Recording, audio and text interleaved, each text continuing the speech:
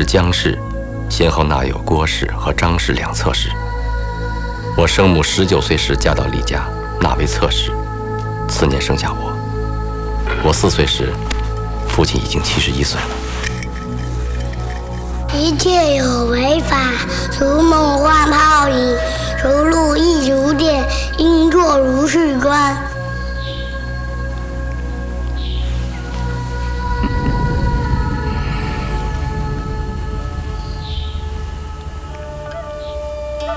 啊，Thank you。这是专门为您准备。哦，Very nice，Thank you。这段也。这是古琴，古琴，这是中国的琵琶，琵琶，Very nice，Very good。这是中国的二胡，Oh I like it。您可以看看琵琶，Very interesting。It's a very traditional Chinese instrument. It's difficult to play. It's very difficult. May I try? Of course. Why not? 快叫大娘好，大娘好，叫二娘好，二娘好，三娘好。三娘好，公使先生，请。Oh, pleasure. Thank you. You know, Mr. Lee, you got in China a wonderful tea, and I love it.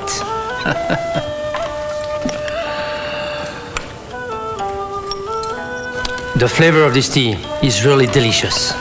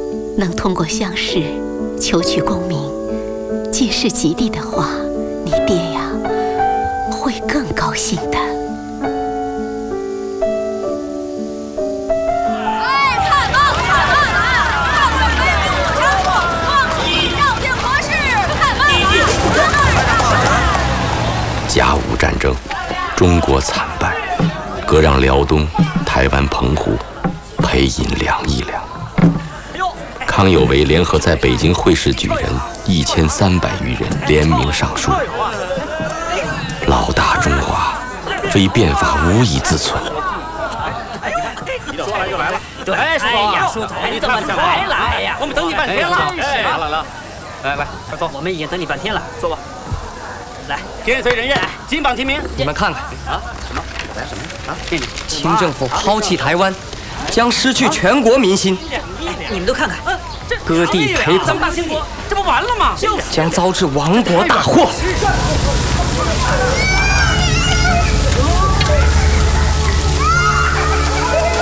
给点钱吧，喝点可乐。不行。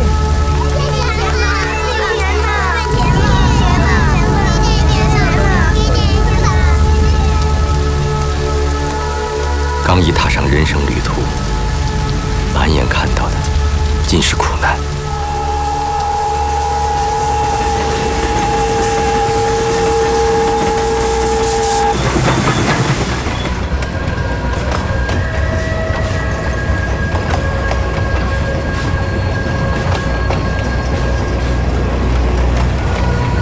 清河车站就要到了，清河车站就要到了啊！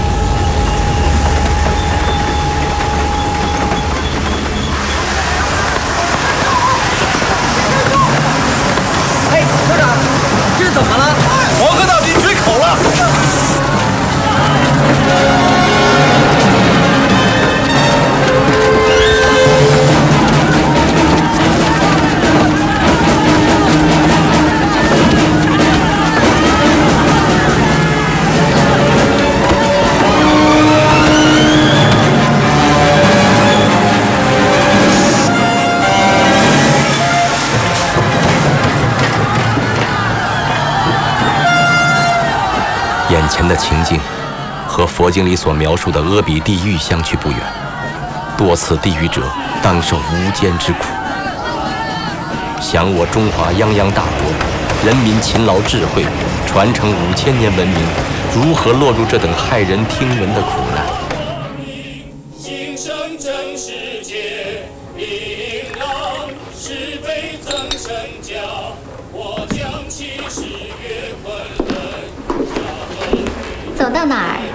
到你写的歌，真开心。看你的戏才开心呢。真的。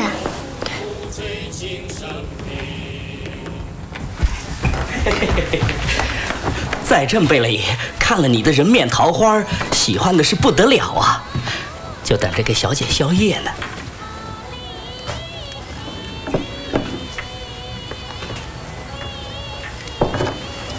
我没空。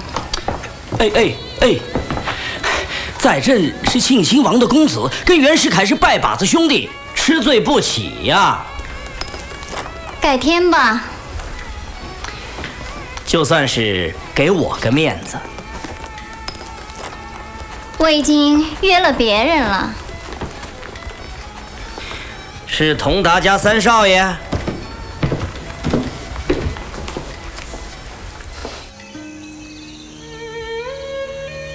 三郎啊，他胃不好，不喜油腻，他喜欢呐用凉水擦身。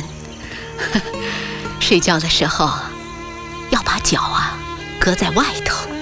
三郎好静，尤其是他作歌、作画、写字、篆刻的时候啊。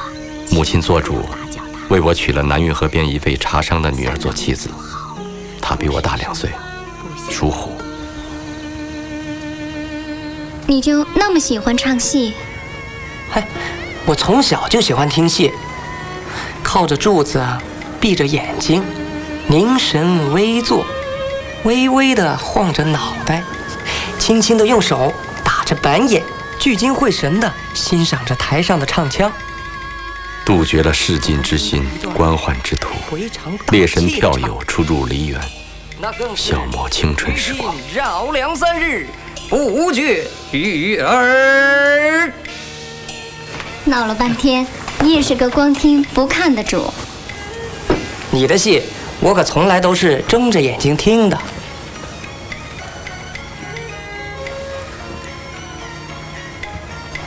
净说好听的。李三爷上场了。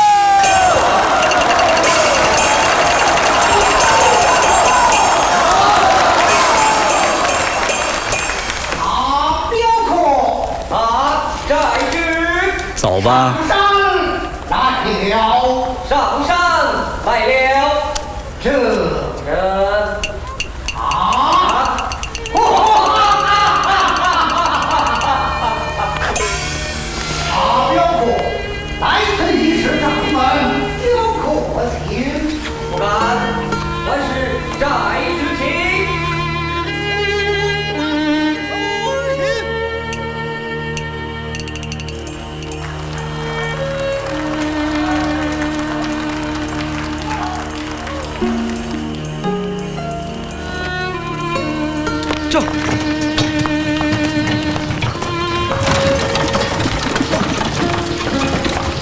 袁世凯用十万两军饷买了杨翠喜，向载镇行贿，酿成轰动一时的杨翠喜案。一代名伶在荆门舞台上消失了。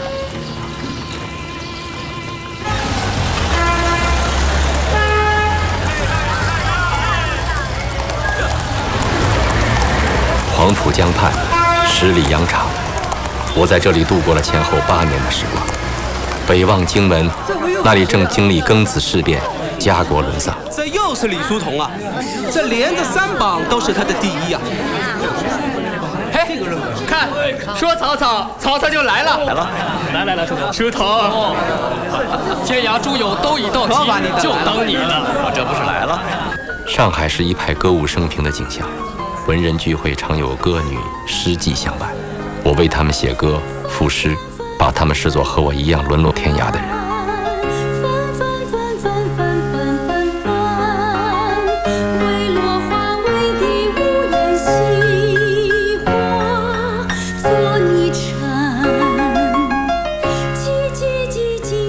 南洋公学的学术气氛蛮浓的，指一个蔡元培在那苦苦支撑。他既受经世之学，又教外语。邵力子、黄炎培，还有书童，那都是蔡先生的高足啊。南洋特班的课程多达几十门，你喜欢哪一门？法学。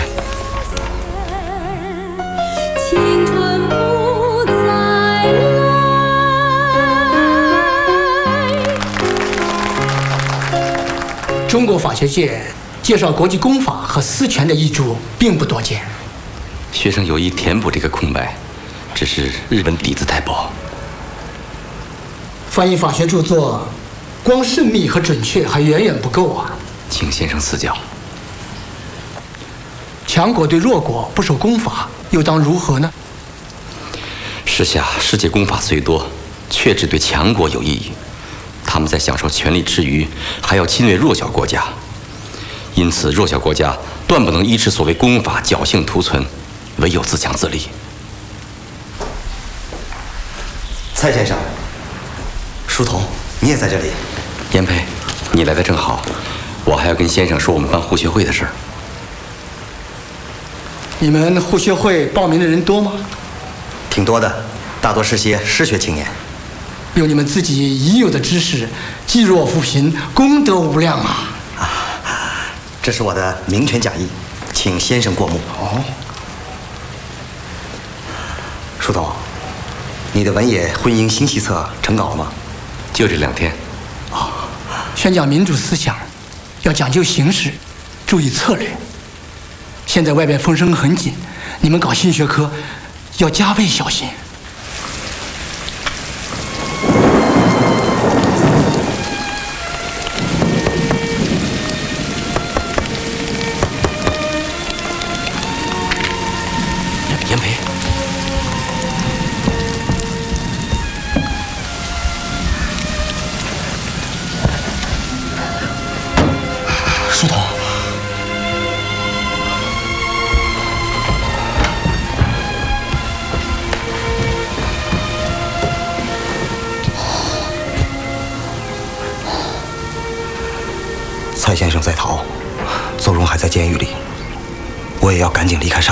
去日本。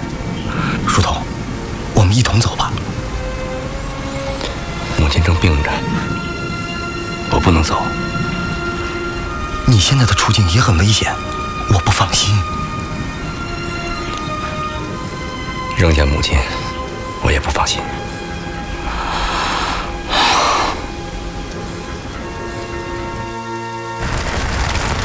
Happy New Year！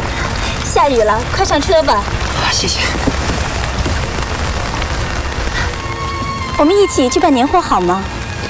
不行，我得回家去陪我娘。您太太不是在家吗？我娘生病了，她应酬不了。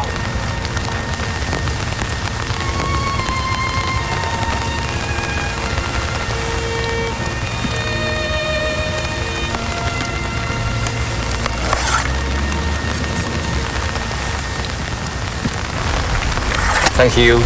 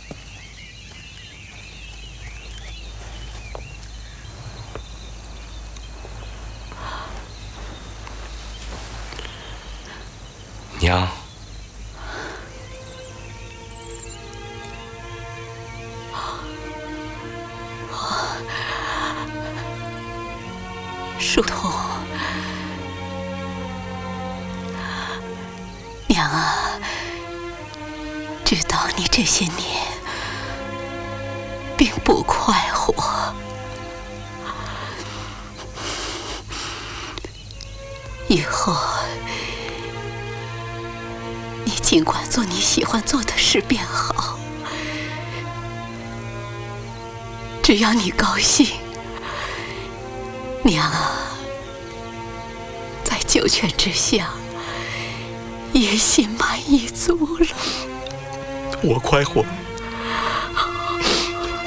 我快活。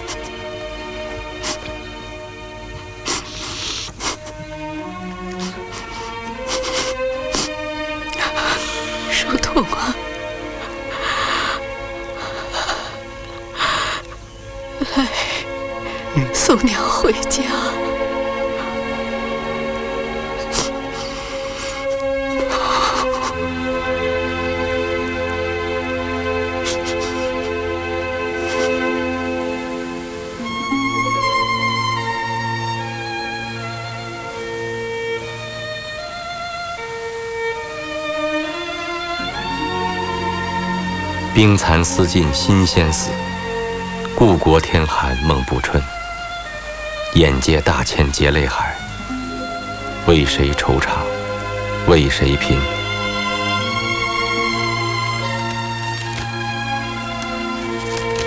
为谁惆怅，为谁拼？为谁惆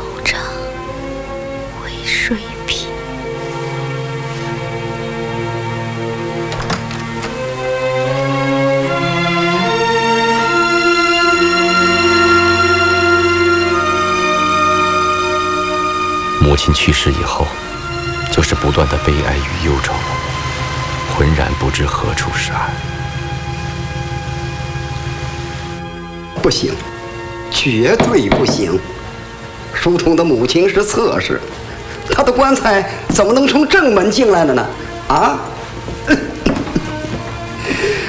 让他从后面角门进来，就是我李家对得住他了。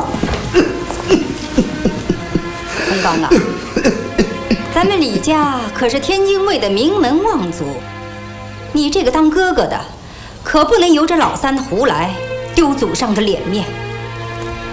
二爷，二爷，三爷急了，弄一帮人把王太夫人那棺材从正门给抬进来了。这可怎么好啊？李家，李家要大祸临头了。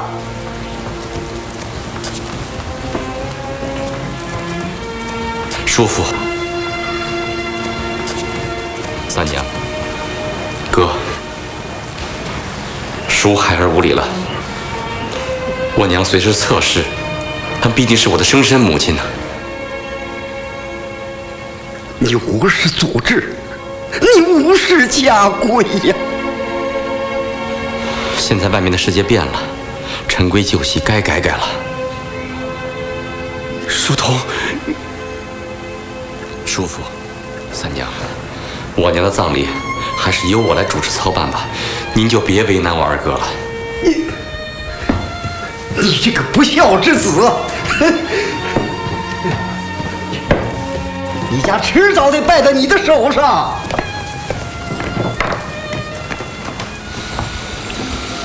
我一定按照自己的方式给母亲办丧事。你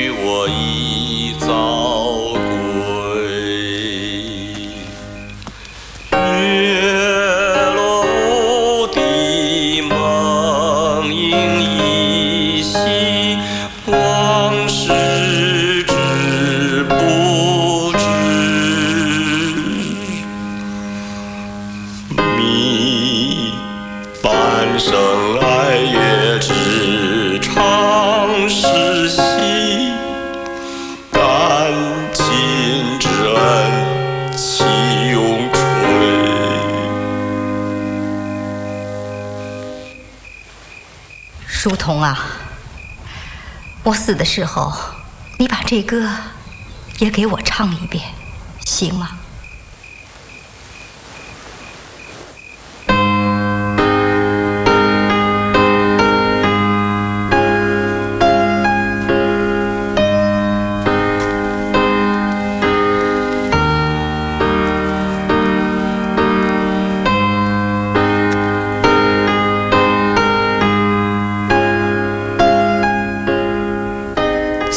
后的我，如游丝飞絮，飘荡无根，更无牵挂。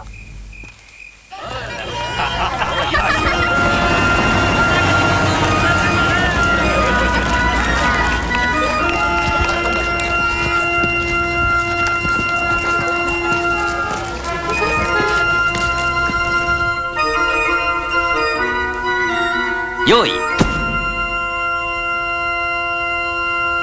用意。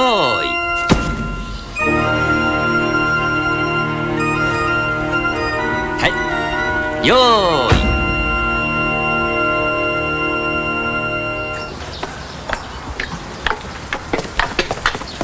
意。ようこそ。どうぞ。おはようございます。このような大展覧会で新国人の作品が入選することは初めてのことだ。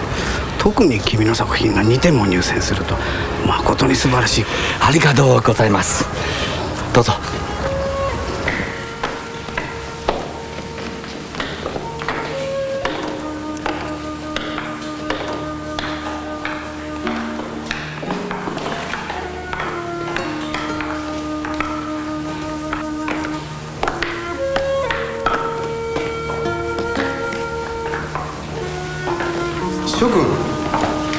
2作品は中国の留学生李淑東君の作品だ。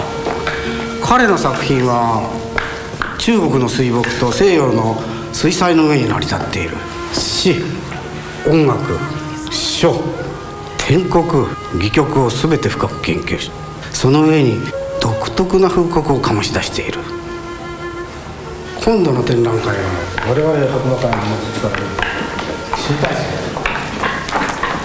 すみません。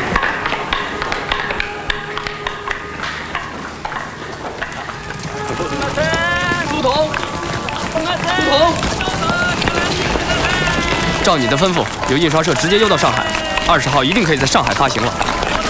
太好了，封面没有你的原稿好。不对了，你的贝多芬我挪到这儿来了，也来不及和你商量。可以，可以，当然可以了，这可是中国有史以来第一份音乐刊物，你这趟日本没白来。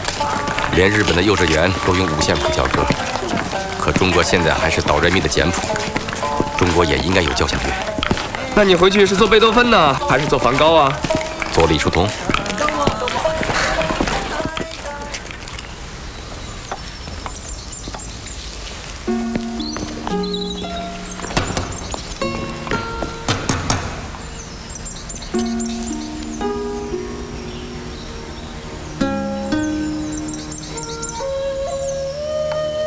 私は子供の頃からずっと父が絵を描いていた背中を見て育ちましたが父は私に音楽の勉強をすることを望んだのです。君は音楽を習っているのですか？今音楽学校に通っていますが父の病気が治らなければ学校学をやめなければなりません君人体を蹴いたことはありますかもしあなたがよければ私のモドロになってくれませんか私が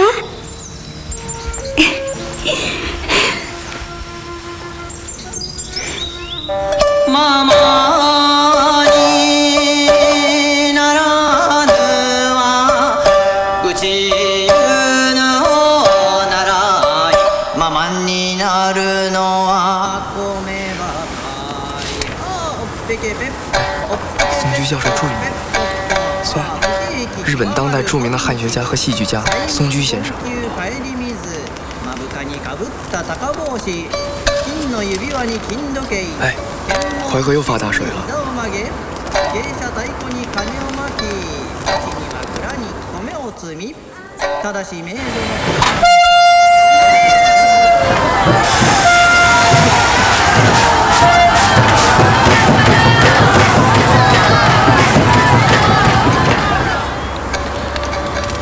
学演话剧怎么样？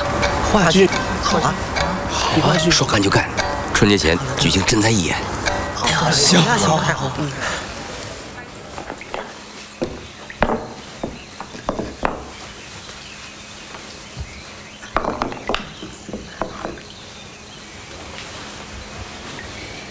ごめんください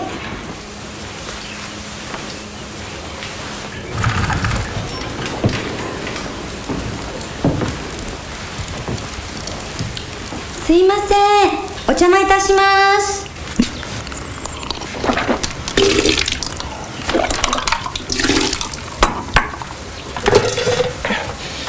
早かったですね。よきぐさん、どうぞお座りください。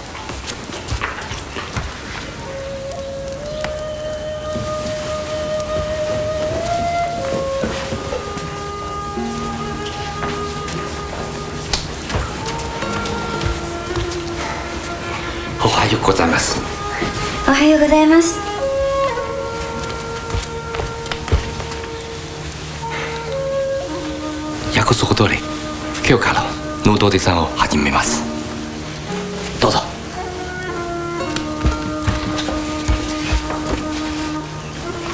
脱がなければいけませんの？何度も話のように。これは西洋画の基本ですから。素敵なモデルがいなければメガガもいないと思います。よろしくお願いします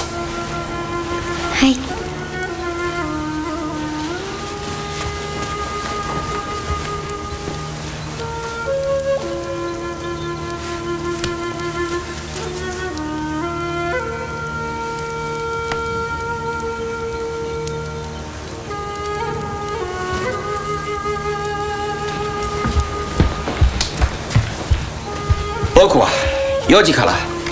椿姫の打ち合わせはあるので。急ぎたいのですが。あなたたちは本当にデューマフィスの進撃椿姫を上演するのですか？今脚本を翻訳しているのだが松井先生のご尽力を得て上演できれば良いのだが。どうすればいいですか？寝巻きを脱いで静かに座ってください。こんな感じですか？よし。よし。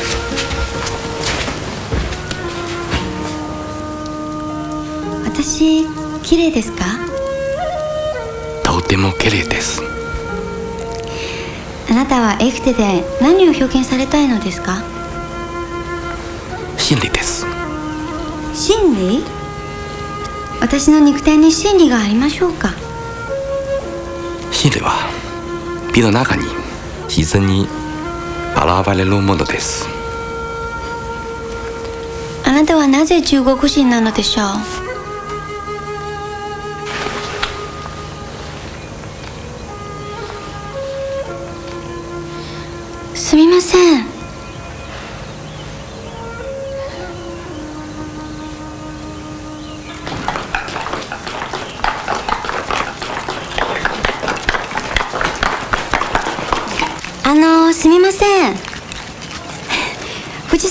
郎先生はいらっしゃいますかいいえ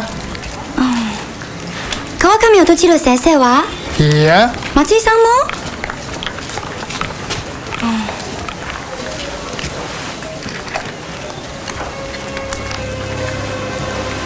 玛格丽特是我。人是怎么生的，就该怎么死。玛格丽特，我是多么的懊悔。这是迟早的问题。这句台词怎么这么别扭啊？人是怎么生？原文是怎么说的来着？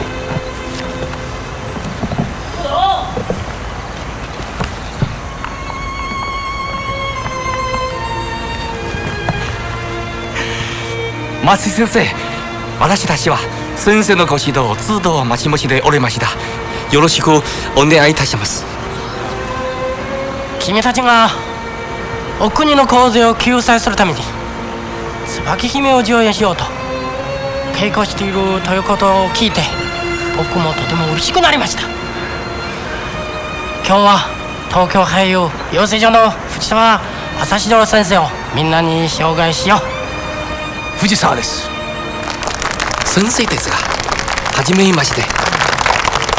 何か役に立つことがあれば遠慮なく言ってくれたまえ。先生自らガシットにいらしてくださり我々診療者一同は光栄に存じます。こちらこそ。ゆきこちゃん。はい。ほぼ回ってご苦労でした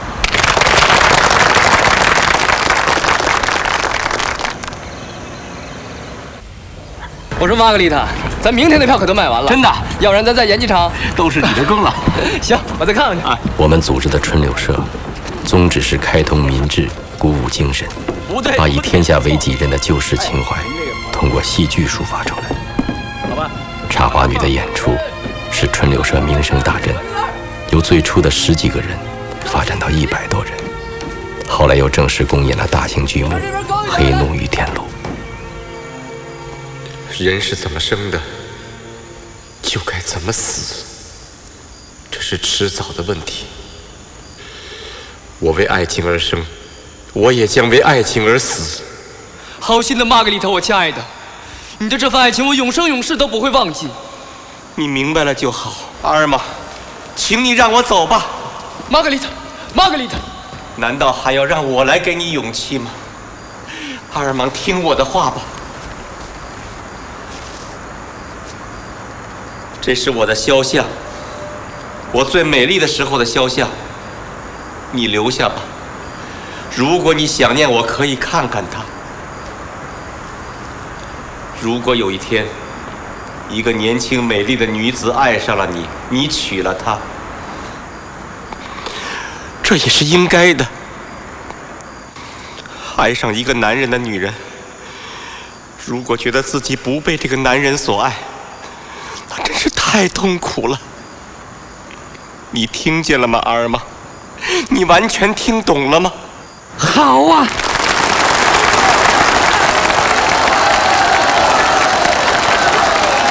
公使长，这戏有伤风化。可是。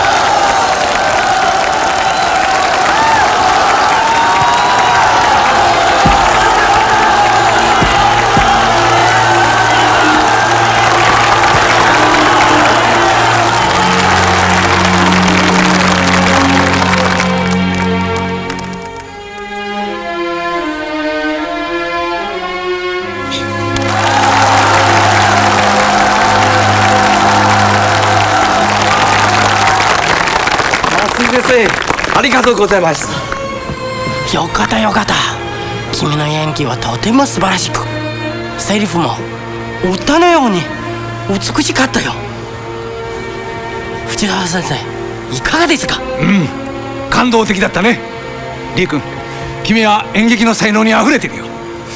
ところで我々は一体どこにいるのかな？パリかな？それともモンマルトルかな？中国ですよ中国でも新しい演劇やのぶしがあるはずですよ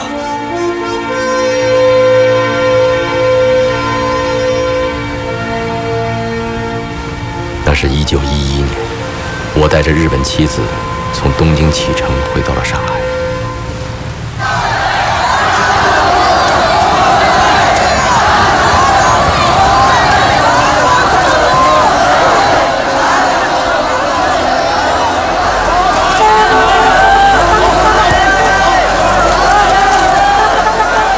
皎皎昆仑，山顶月，有人长啸。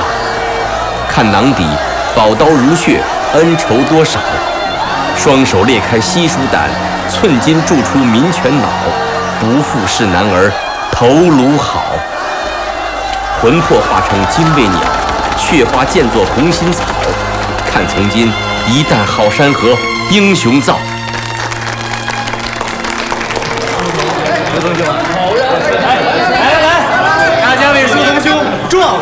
烈的《满江红》为中国摆脱两千年的封建统治。干杯！干杯！干杯！舒同兄啊，陈其美督办的《太平洋报》就要创刊了，这个版面设计和文艺副刊，我可就全托付给你了。主编大人，您可真够仁慈的啊！人家还在新婚蜜月呢，你就没有问题，没有问题。瞧瞧，瞧人家这一段，这才叫珠联璧合呢。对，谈不上签订。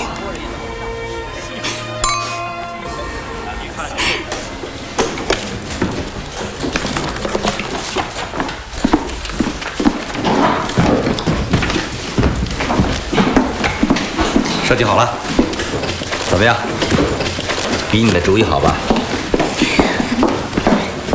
哎呀，总编大人，你是姗姗来迟啊！这期报刊就等你最后审定了。书童啊，这个设计还是作为《太平洋报》寿终正寝的墓志了。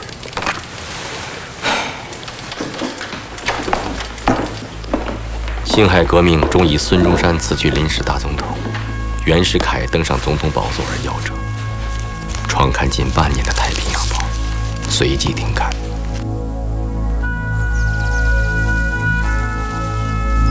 上有天堂，下有苏杭，是吗？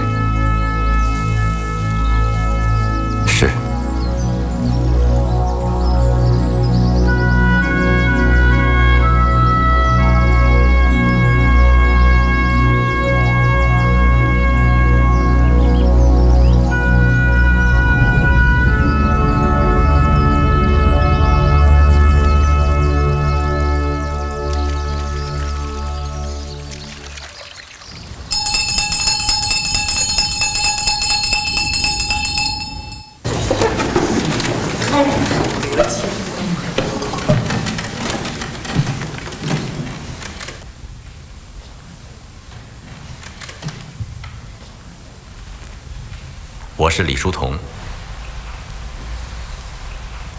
这学期负责你们的图画音乐课。冯子凯，你是这个班的图画课代表。是，先生。天哪，他头一天来就知道学生的名字。刘志平，你有什么问题？没，没有。请坐。这堂课，我向大家介绍一首西洋乐曲，美国人 John Ordway 所作的《梦见母亲》（Dreaming of Home and Mother）。我现在为大家弹奏一遍。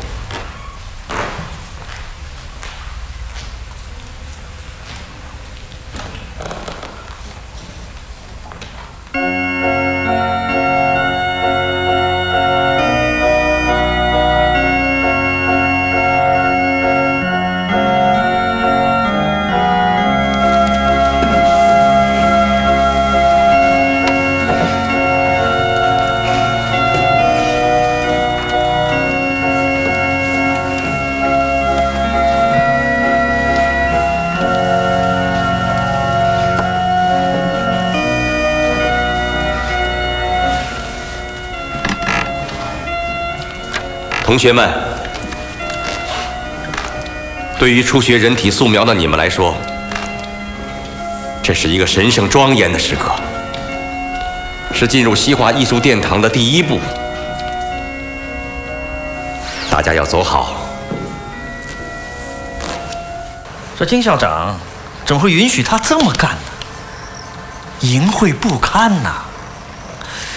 没听说中国哪个大画家是靠着画裸体画学生画画的，这不天下奇谈了吗？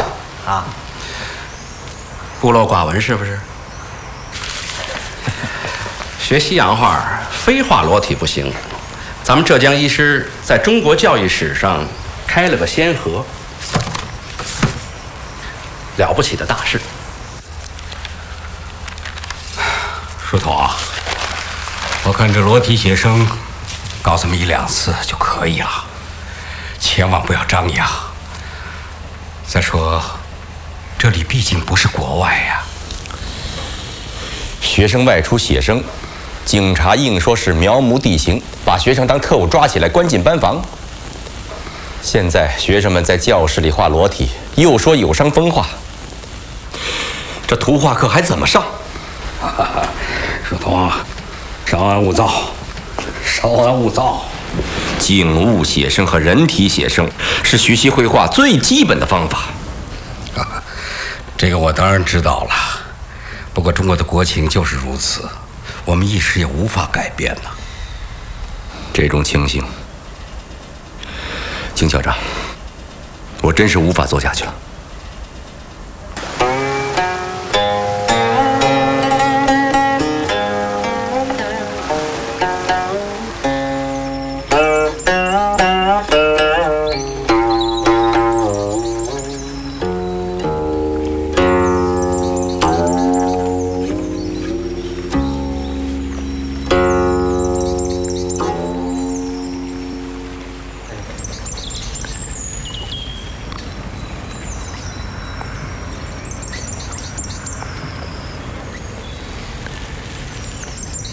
一声入耳里，万事心中空啊！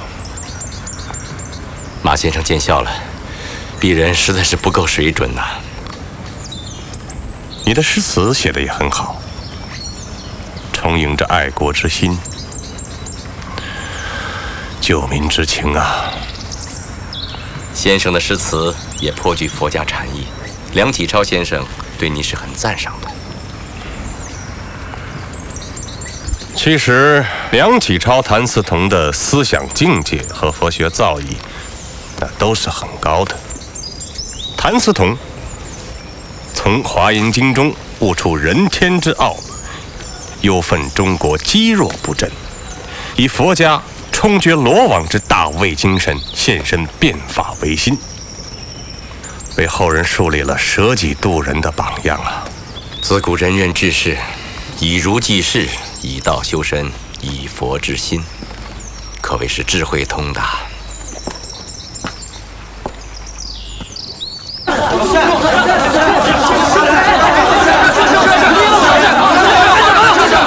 怎么会让没有给我回去！丰子恺，又是你啊！不是他偷走，先生，你不能随便冤枉好人呐！冤枉好人呐是啊，不是他偷走，你不能无缘无故冤枉好人呐！就是丰子恺，你不要聚众闹事儿，再不躲开，我请校长来处理你。王大勇，跟我走。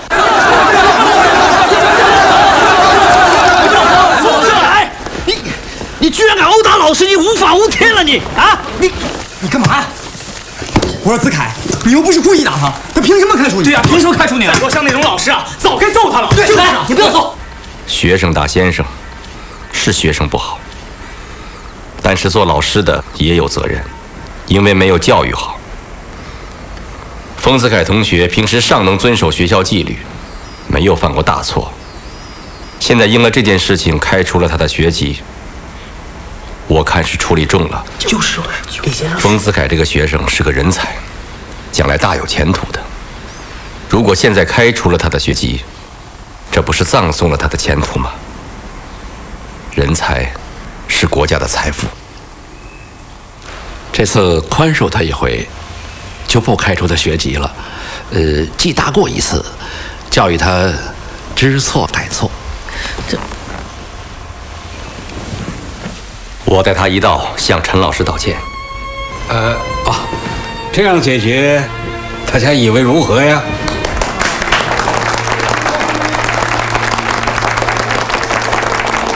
各位，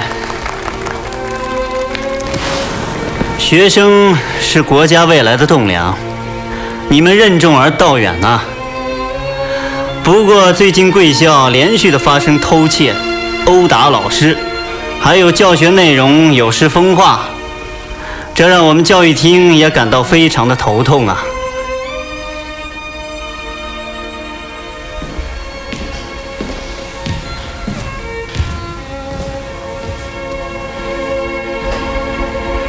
就你一个人？学生们呢？都去听修身课了。又改了，一加课就来挤音乐美术。教育当局这帮官痞们狗屁不懂，从来没拿美育当回事。这不是我给你推荐的那本介绍断食的书吗？免尊，你看，断食是身心更新的修养，使人除旧换新，生出伟大的精神力量。怎么，你想学释迦和耶稣？脱胎换骨，还真是想试试。开玩笑，前后二十一天，不闹出病来才怪呢。看到这些寺庙和僧人，还真是羡慕你。书童啊，要放年假了，回上海陪陪夫人。免尊，来，我把那首乐曲重新填了词。送别，长亭外，古道边，芳草碧连天。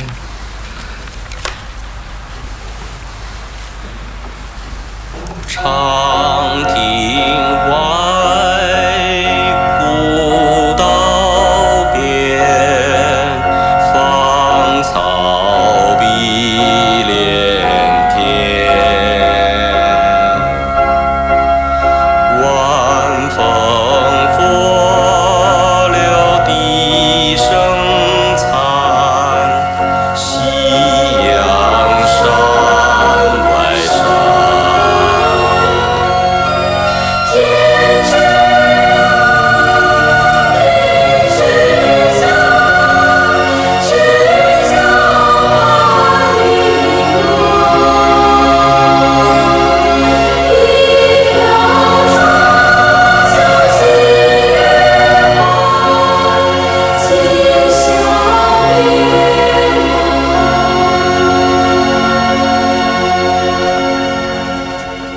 时正期第七日，饮梨汁及盐汤。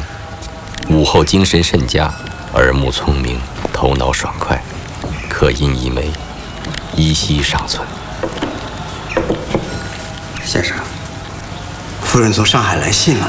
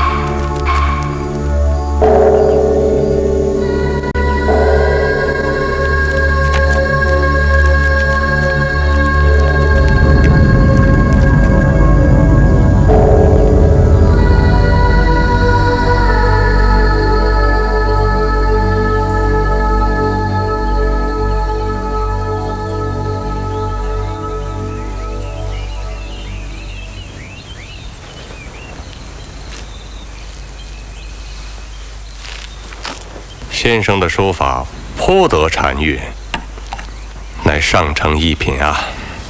惶恐。断食以来，虽有脱胎换骨的感觉，然人在凡事，身不由己啊。也不必性急，以先生的学问，一旦研修，必定触类旁通，勇猛精进。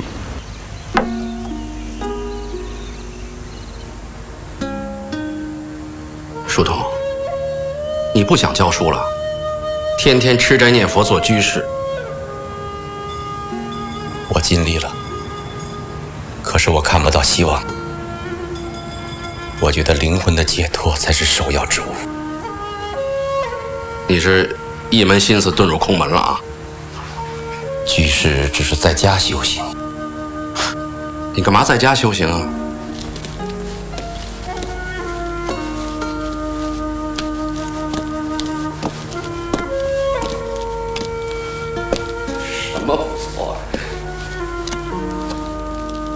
是想出家做和尚。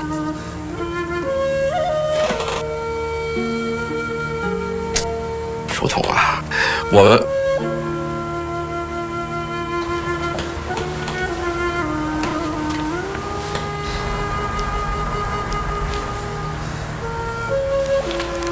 多少年了，你是我的好妻子、好伴侣，我心里唯一放不下的就是你。天哪，放不下！你不是就要把我扔下了吗？你还有天津的家，我都会安排好的。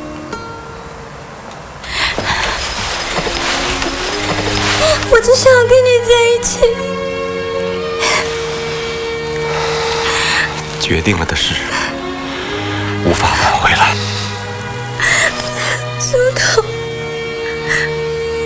说过我们是姻缘签订吗？是啊，我感到，仿佛从我出生以来，一直在注视着你的面容，可是我的眼睛仍然是饥渴的。我感到，我仿佛把你紧紧拥抱了几万年，是我的心仍然不能满足。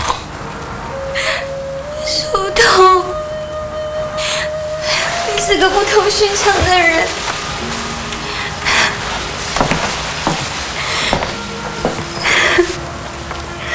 我早已在你怀抱中融化，我早就没有自己了。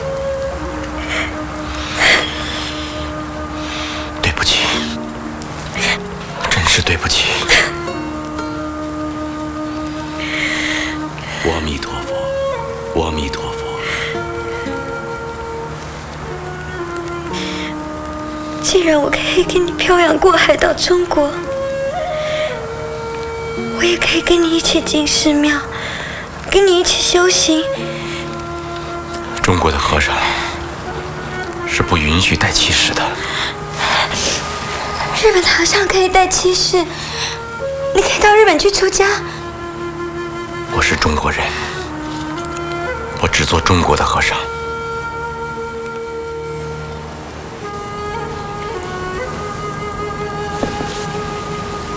这几本画册送给你，子凯。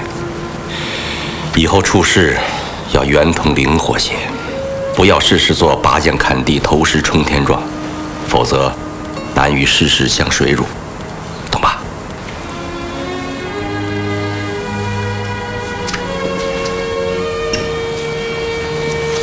志平，这支自来水笔留给你。南京高师邀我去任教图画音乐，我推荐了你。你只要教一个学期，就能凑够去日本留学的费用了。先生，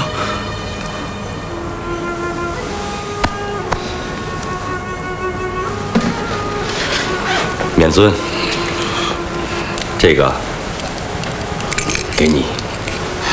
书童，我说的都是些气话，怎么可以当真呢？我出家确实有你的祝愿，此恩永不能忘。先生，你为什么要出家呢？不为什么。怎忍抛离妻儿？人世无常，如抱病而死，想不抛也做不到。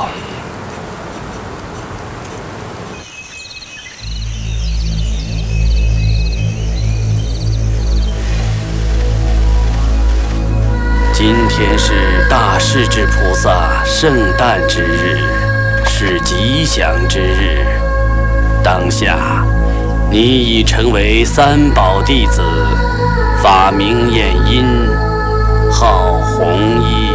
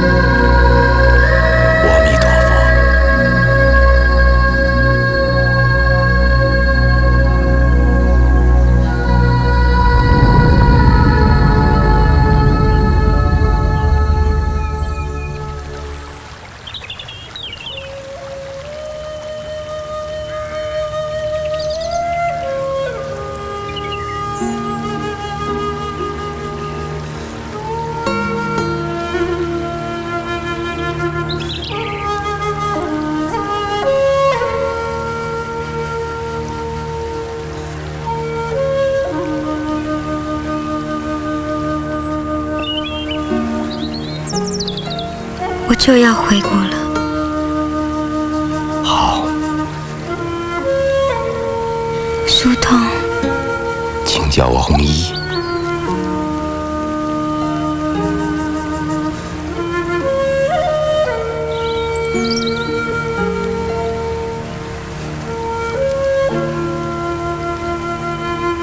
红衣法师，请告诉我，什么叫爱？爱就是慈悲。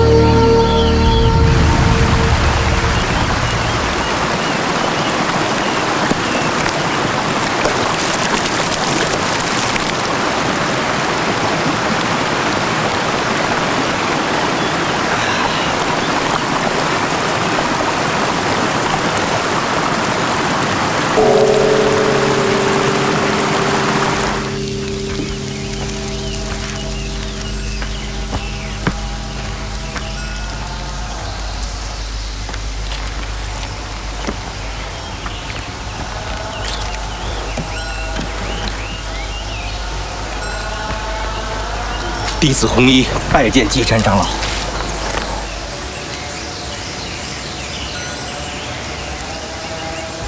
佛教八万四千法门，你为何偏修律宗？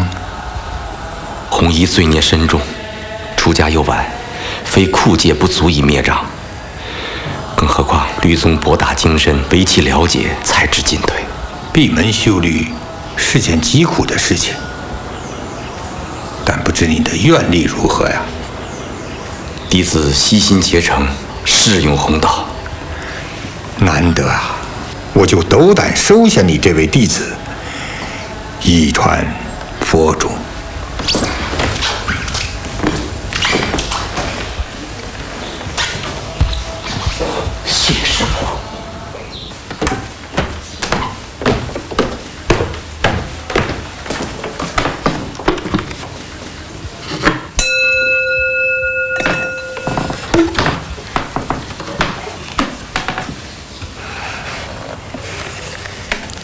师傅，够吃吗？我看你每次都吃的很干净。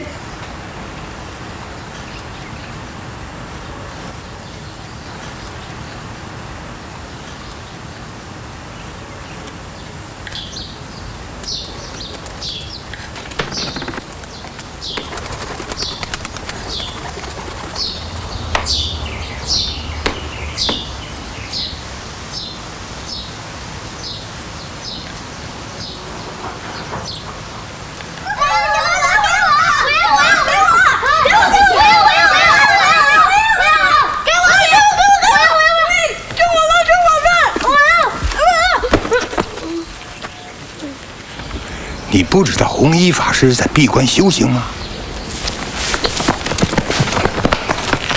你还口口声声的要学律，我看你什么叫戒律都不懂。你好大的福气啊，敢这样糟蹋东西！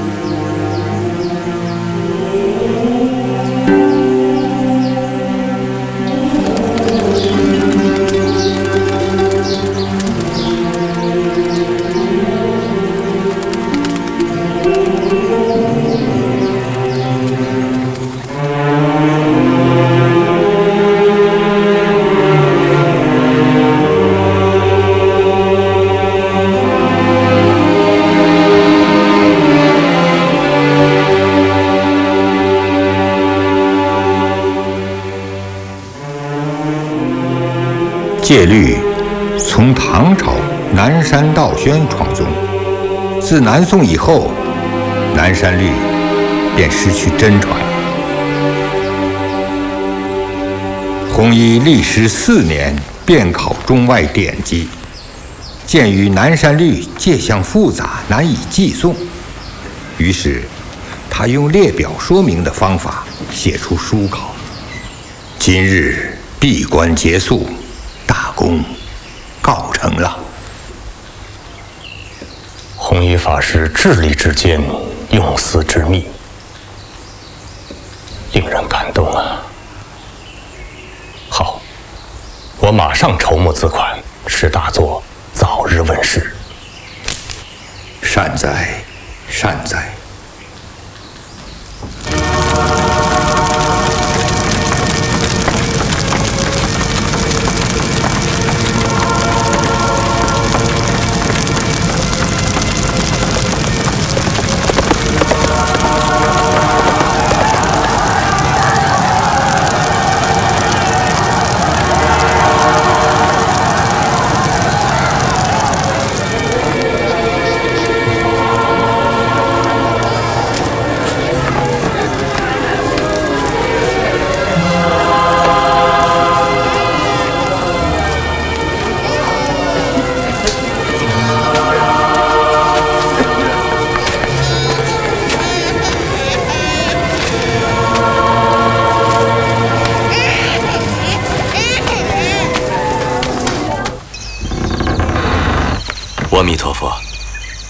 知印光法师，弟子红衣求见。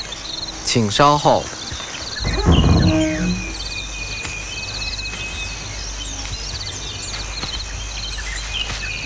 师傅吩咐了，概不见客，法师请回吧。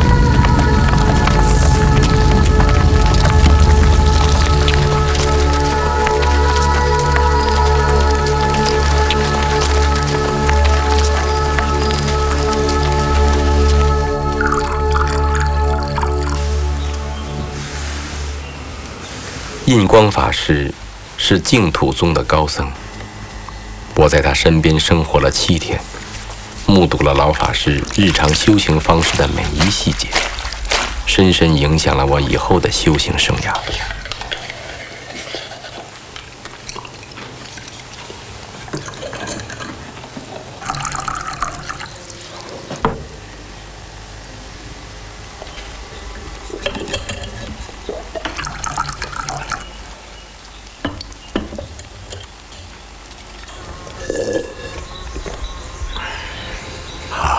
要惜福啊！你多次来信提到拜师，我真有点害怕了。我是从来不收徒弟的。你在僧俗两界都有声望，我一个无名的老僧，哪有资格做你的师傅啊？哈哈，我们同修吧，啊，取长补短，这样最好。师傅，哦，你也来了。弟子知道佛学会在普济寺打佛七，请您早点去开示。我也想去听，顺便送送您。听说你明天就要走了？是，长波师傅不弃，几日来在师傅身边，受益颇深。弟子明天走了，有个问题，还请师傅开示。什么问题啊？佛法究竟如何救国救民呢？呃，因果之法，那是救国救民的急务。要是人们知道善有善报，恶有恶报，想拯救世道人心，必须从此入手啊！师傅的话，弟子谨记了。大师，大师我后半夜就起身北轿来接您呢，没想到你起得那么早。大师，请快上轿吧。哎，我怎么能让他们留着汗抬我呢？我不坐轿，走走好。哎呀，大师，师傅，要不您上轿吧？呃，我也不坐轿。哎呀，师傅，师傅，师傅。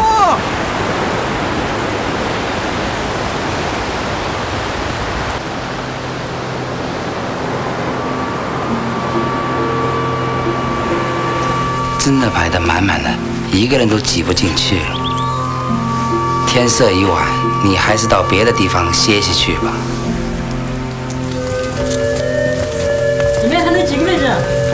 哎，里面还能几个人？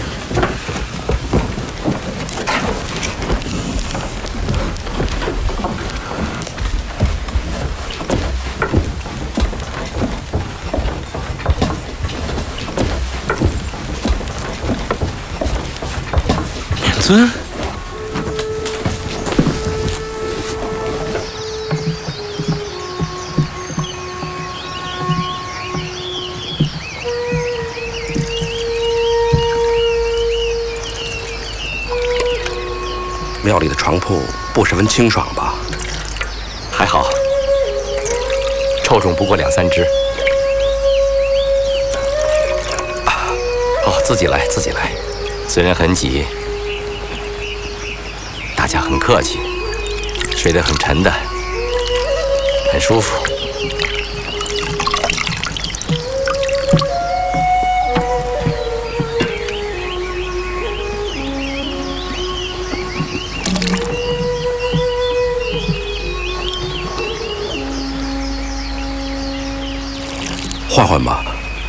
又不是什么贵重物件。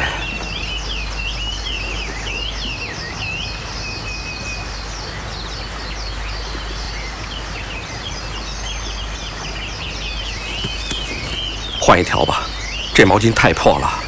好用的，好用的。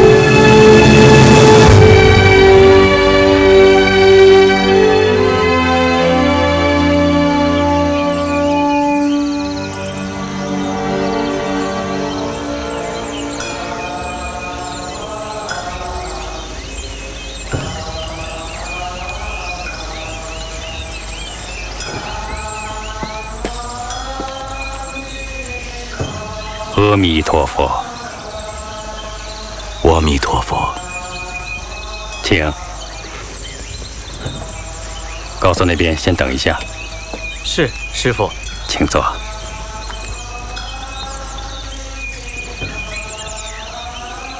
耽误了太虚法师的时间，红衣深感不安。不知法师要去哪里？此行去德国柏林，在那里筹办一个世界佛学会。时间还来得及，愿意和红衣法师共商佛学教育大事。有些人呢，视我为异端。嗯，我知道，你并不这么认为。你是把西洋音乐、西洋戏剧、西洋美术引进中国的先锋啊！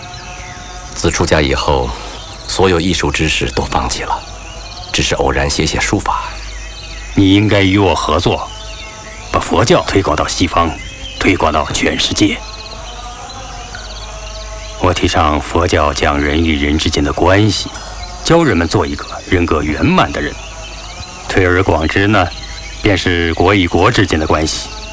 人人都是佛，处处都是佛国。你参加过革命，游历过日本和欧美各国，对世界的进步思想了解的比我多。佛教是世界的，弘一法师满身才华。该与我共同创建更伟大的佛教事业。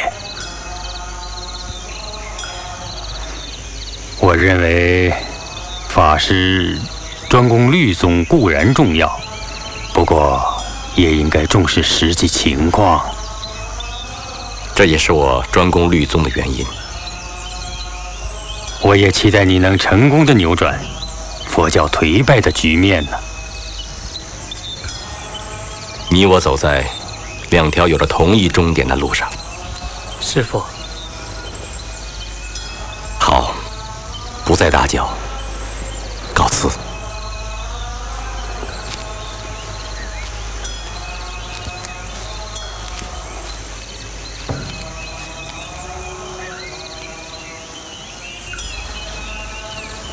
先把船票退掉。我已经搬到普通客房了。那怎么行呢？法师不是说好就由了我吧？我们商量一下办学的事。我准备办一所新的佛学院，和闽南佛学院同时授课。《易经》中有“蒙以养正”的话，我想新学院的名称就叫做佛教养正院。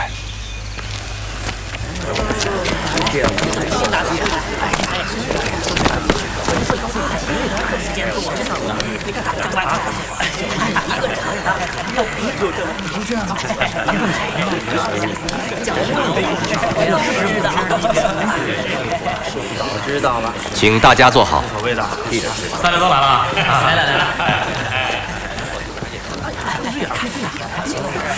请大家坐好。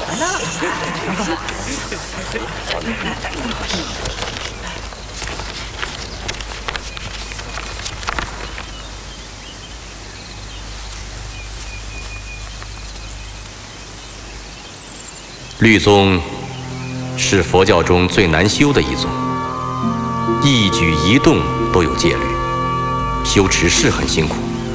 要知道，社会众生称我们出家人为僧宝，地位很高的，所以我们的人格品行也要修得很高。从今天起，我们每天讲四分律两小时，你们各自按照我的吩咐。宣读南山律三大部，重点部分要背诵，希望每位同修。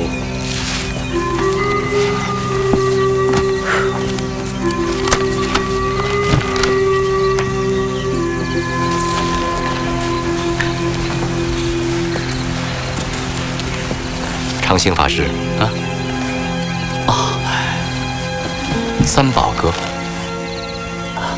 三宝歌是太虚法师多年前写的，原本想谱曲之后交给学生们唱的，可惜一直没能找到合适的人谱曲，时间久了就慢慢的忘了。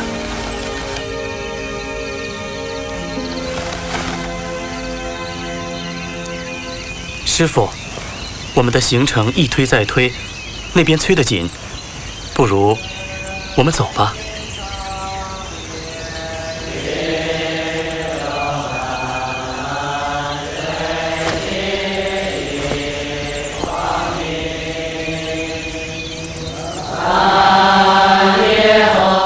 法师，您还记得吗？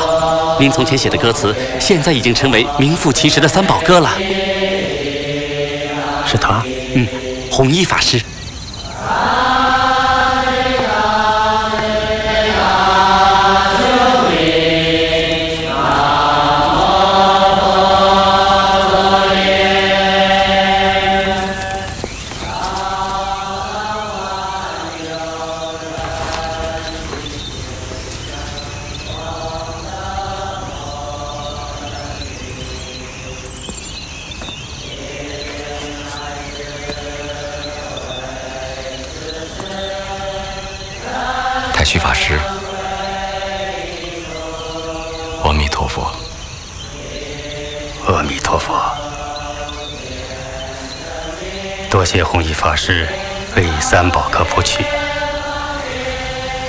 我能重新听到几乎忘却的歌词，重温曾经经历过的心路，是弘一法师和我的缘分呐、佛教徒的言行，应该以敬三宝、报四恩为本。弘一师把三宝歌交给青年学生们传唱，真是教化心灵啊！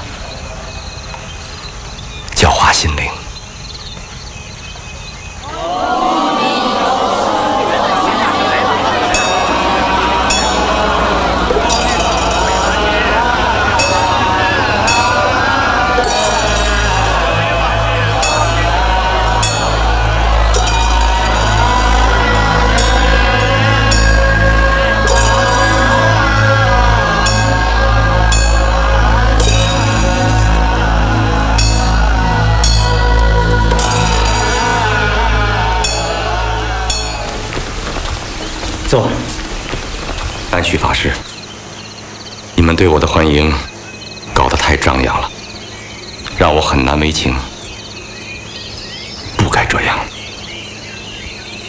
这都是占山寺僧众和青岛俗众自发而为，并非我有意安排，请法师谅解。我是来干什么的？是来弘扬南山律宗的。如果讲律的人自己不严格持律，还怎么开口呢？讲律之前，我要和你约法三章：一，我不为人师；二，不要为我开欢迎会；三，不要登报扬名。赶快到报社把弘一法师来青岛讲律的消息稿撤掉，去吧。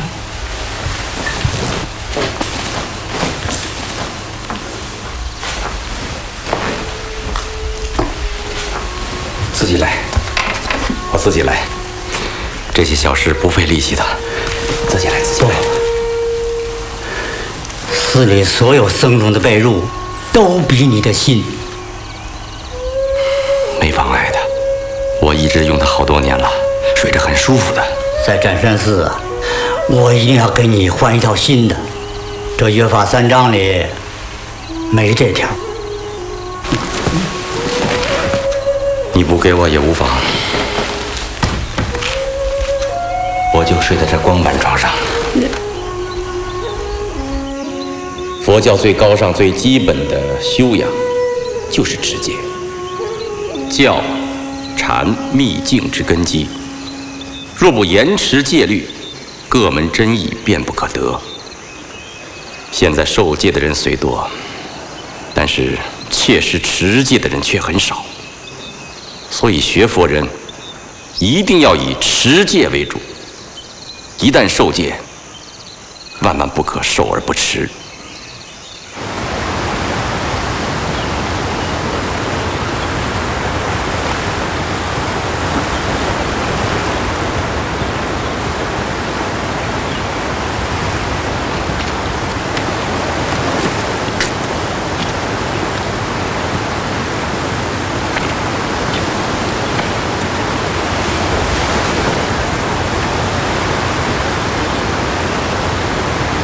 师傅，回占山寺吗？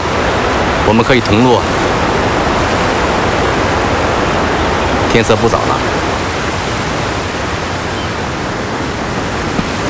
不，我不想和你同路。弘一法师，我觉得你不可以弘扬律宗。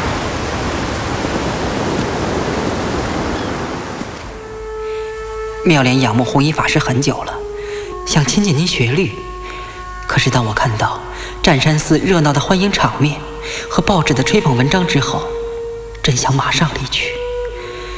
原来律宗大师也是个喜欢名闻利养、喜欢风光的场面人物。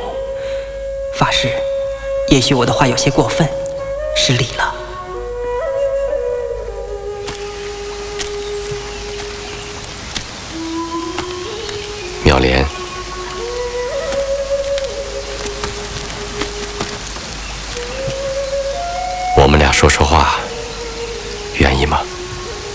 愿意。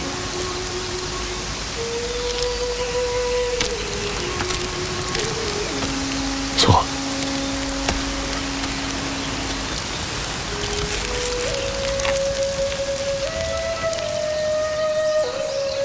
听了我的课，有什么感觉？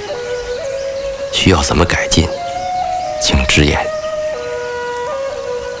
我每天听课都把您讲的话先用草纸记下来，下课以后再誊写到笔记上的。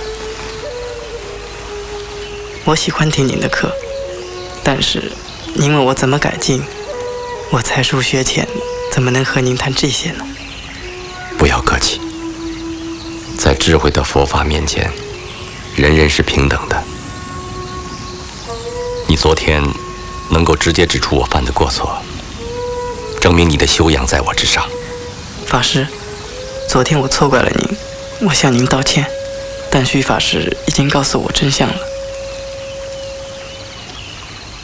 我在这里讲律期满以后，还要回泉州普济寺闭关。你愿意和我一起去吗？法师走到哪里，我就跟随到哪里。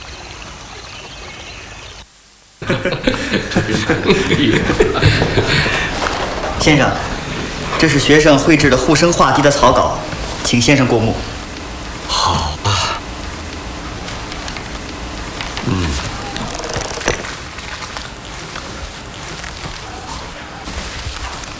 嗯。好漂亮啊。嗯。好。笔调优美者生起悲悯之情，唤起人们珍惜生灵的慈悲心。还想请先生为护生画集撰写诗文呢？可以，可以。哎呦那太好了。先生，出版社准备把您在俗时创作的歌曲收入《中华民歌五十首》，请您指点选编的原则。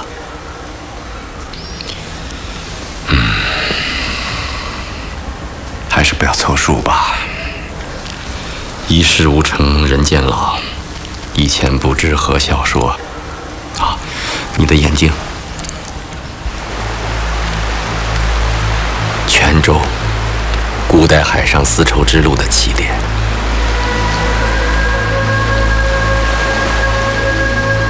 此地古称佛国，满街都是圣人。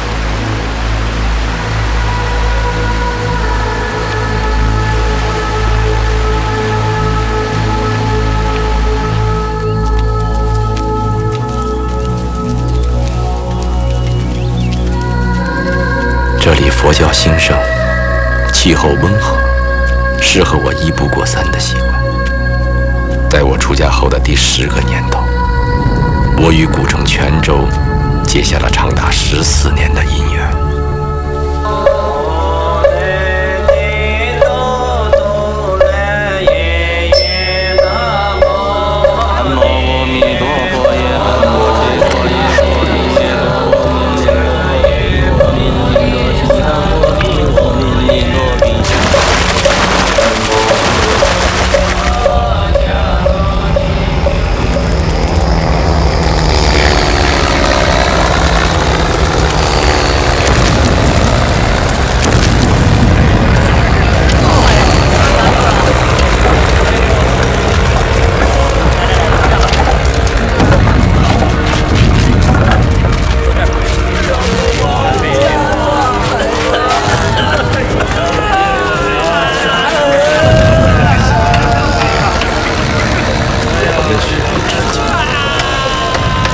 日本人陆学里直接，他们是杀人的刽子手。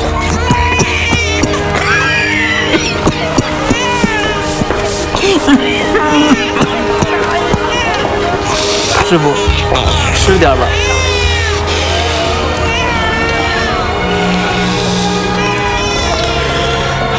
我被所食的是中华之所，所饮的是温灵之水。身为佛子，为难之时，不能共纾国难于万一，不能为释迦如来争得一点体。大师，杜大夫来了。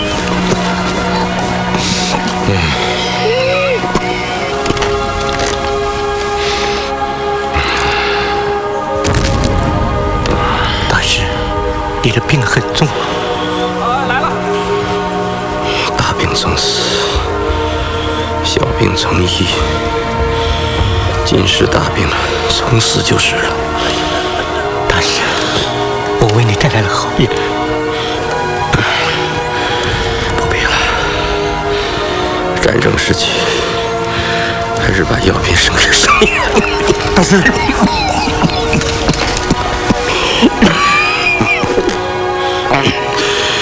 嗯，当家的，当家的，大师，还是把寺庙里的禅房多腾出一些，粮食剩下一些，尽可能的安置难民。啊，人多庙小，稻粮饥荒，难以维系啊。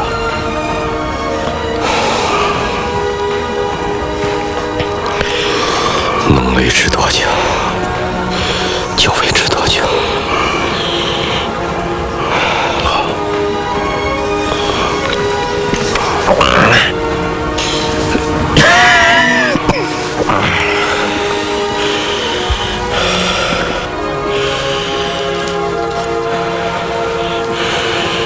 这是智阳辩尊居士送给我的美国白金水晶眼镜。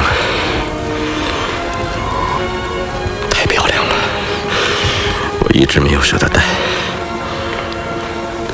把它卖了，还能值五百元，换作稻粮。快去吧，我就去办。念佛，不忘救国。我们佛教是讲报国恩的。当下民族存亡，危在旦夕。僧侣们以及所有学佛人，要遵循佛陀教诲，庄严国土，利乐有情，以佛陀悲悯之心，阻止杀戮。救国于危难，愿佛力加倍。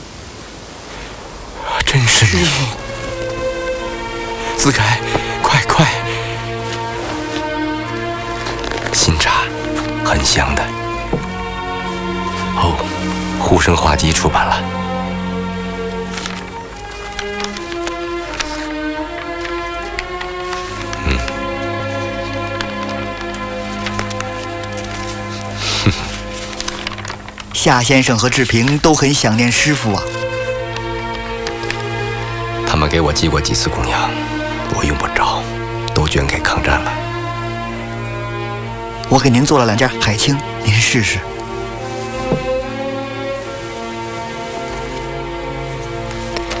你知我做的衣裳总是这么合体，只可惜穿不了几回了。我们还要合作互生画集呢，等您一百岁的时候，我们能画到第六集呢。我配的诗恐怕赶不上你画的画了。师傅，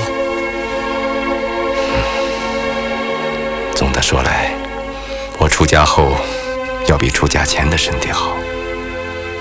一日两餐，过午不食，绝对是素。是知道的。我出嫁前的身体状况，绝对想不到能够活六十三岁。好好，不说，不说，